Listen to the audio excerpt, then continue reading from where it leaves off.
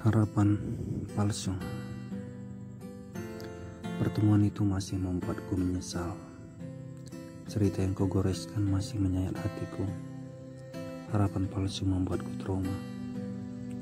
Coba kamu pikirkan, seandainya kamu menjadi aku, apakah kamu sanggup? Bagaimana juga aku kata, kamu pasti tidak mendengarnya. Itu sudah berlalu.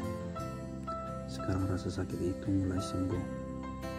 Aku mulai bisa berpikir waras. Mengingat masa itu, aku menjadi malu. Malu pada diriku. Budak cinta, begitulah sebutannya. Mencintai orang yang memanfaatkan diriku.